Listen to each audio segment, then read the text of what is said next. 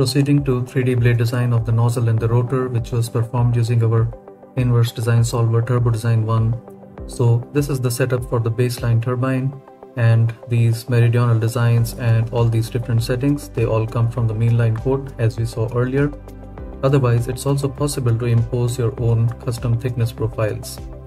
And the span-wise work distribution for each component is free vortex and so it has a constant value from hub to shroud and as we can see here the rVt star at the rotor leading edge is kept the same as the nozzle trailing edge and this automatically ensures a good matching between them.